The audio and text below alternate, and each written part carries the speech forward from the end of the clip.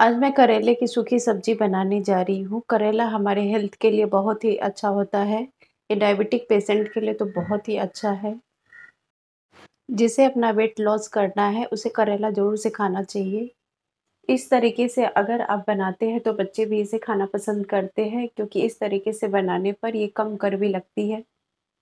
इसके लिए एक कढ़ाई ले। कढ़ाई में दो टेबल स्पून के करीब ऑयल ले। यहाँ पर मैंने सरसों का ऑयल लिया है। ऑयल को अच्छी तरह से गर्म करना है।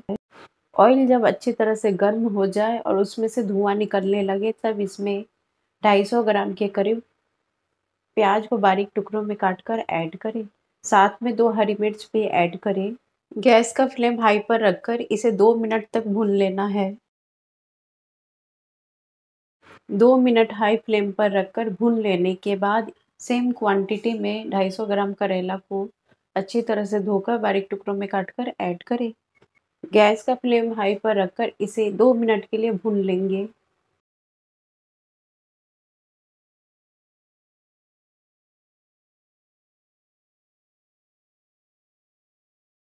दो मिनट हाई फ्लेम पर भून लेने के बाद गैस का फ्लेम लो पर रख दे। ढक्कन लगाकर इसे पाँच मिनट लो फ्लेम पर पकने देना है और बीच बीच में चम्मच चलाते रहना है।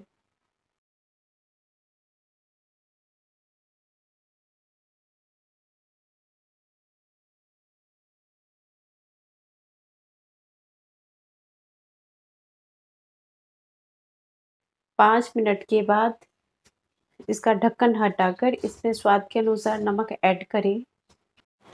नमक डालकर इसे अच्छी तरह से मिक्स करने के बाद इसका ढक्कन लगाकर इसे फिर से पाँच मिनट के लिए लो फ्लेम पर रखकर पकने देना है।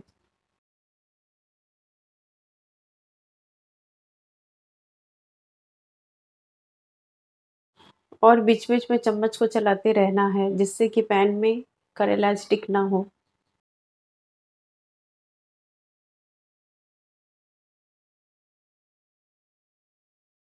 पाँच मिनट करेला को लो फ्लेम पर पका लेने के बाद इसका ढक्कन हटा दे और एक बार करेला को चेक कर ले। करेला अच्छी तरह से पक चुका है। इसमें अब मसाला ऐड करेंगे। आधा छोटा चम्मच हल्दी पाउडर, आधा छोटा चम्मच धनिया पाउडर, आधा छोटा चम्मच लाल मिर्च पाउडर ऐड करें। अभी सबको अच्छी तरह से मिक्स कर देना है।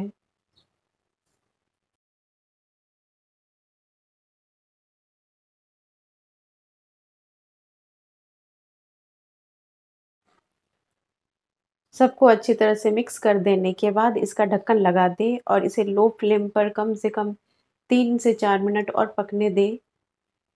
और बीच बीच में चम्मच चलाते रहना है। इससे मसाला करेले में अच्छी तरह से मिक्स हो जाएगा। इस तरीके से करेला बनाने में थोड़ा टाइम लगता है, लेकिन ये खाने में बहुत ही टेस्टी लगता है।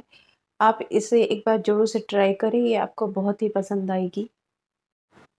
चार से पाँच मिनट के बाद इसका ढक्कन हटा दे और एक बार करेले को चेक कर ले। करेला अच्छी तरह से पक चुका है और इसमें से तेल भी छूटने लगा है।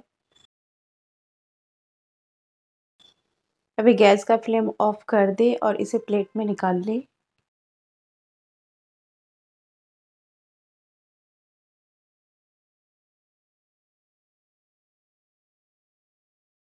इसे दाल, चावल या फिर रोटी के साथ सर्व करें। अगर आपको मेरी रेसिपीज़ पसंद आती है तो मेरे वीडियो को लाइक और शेयर करें और चैनल को सब्सक्राइब करना ना भूलें।